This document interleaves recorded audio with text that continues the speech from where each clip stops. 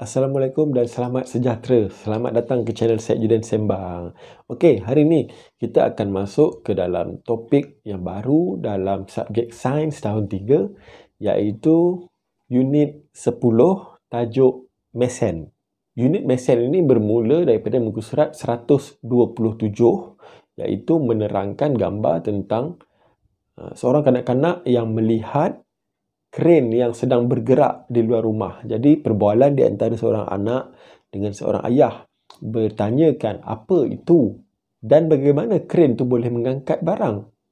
Jadi timbul persoalan apakah mesin dan apakah sistem ataupun uh, perkara yang, dilak- yang digunakan dalam uh, kren itu sehingga kan kren itu boleh mengangkat benda-benda yang berat. Seterusnya kita akan pelajari apakah itu takal. Takal ialah satu contoh mesin ringkas yang memudahkan beban diangkat ke atas dengan menggunakan daya yang kecil. Contoh yang diberikan adalah kereta kabel. Kereta kabel yang ada kalau dekat Malaysia ni kita ada di Genting ataupun di Langkawi contohnya, dia bergerak menggunakan takal. Takal menggunakan satu roda beralur yang mana membolehkan tali bergerak melalui alur tersebut. Sekiranya beban ingin diangkat, bermakna tali itu akan ditarik menyebabkan beban itu bergerak naik ke atas. Kegunaan lain takal di dalam kehidupan harian kita adalah sekiranya dekat sekolah kita mesti pernah tengok uh, pengawas menaikkan bendera semasa nyanyian lagu negaraku, lagu negeri ataupun lagu sekolah. Okay, di bahagian atas bendera itu ada takal yang mana apabila tali itu ditarik bermakna bendera itu akan naik ke atas.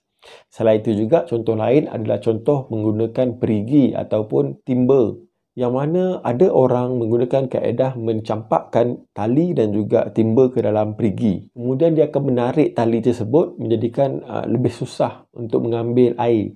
Tetapi dengan cara adanya takal, cara ini lebih mudah dan lebih cepat untuk kita mendapatkan air di dalam perigi. Selain itu juga Takal digunakan di dalam uh, pada kapal yang besar iaitu untuk menarik pukat. Apabila pukat dilepaskan ke dalam air, kemudian untuk menarik pukat yang besar dan juga ikan, jadi dia memerlukan satu uh, takal yang kuat. Sekiranya tarik dengan tenaga manusia mungkin tidak cukup. Tetapi dengan adanya takal, ia menjadi lebih mudah. Untuk tahu lebih lanjut tentang takal, jom kita tengok apa yang ada pada kren ini. Okey, jom. Okey, ini adalah contoh kren yang menggunakan sistem takal.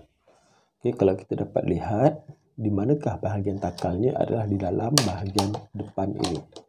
Okey, di dalam bahagian depan ini dia menggunakan sistem takal yang mana untuk menarik cangkuk ini untuk men, uh, mengambil sesuatu beban ataupun barang. Okey.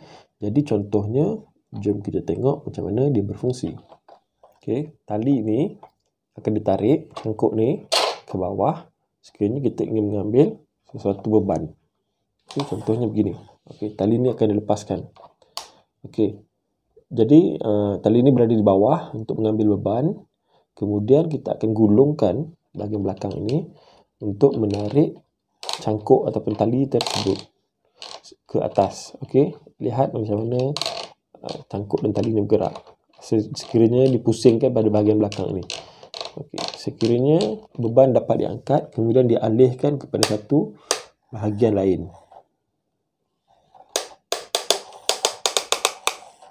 Sekiranya sampai ke bahagian yang ingin dialihkan, okey, turunkan semula tali ataupun cangkuk tadi.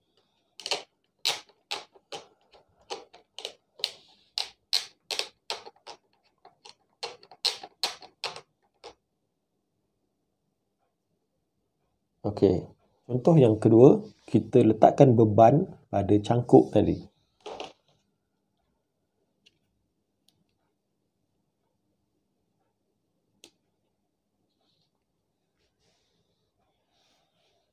Okey, kemudian kita tarik kren ini untuk mengangkat beban tersebut.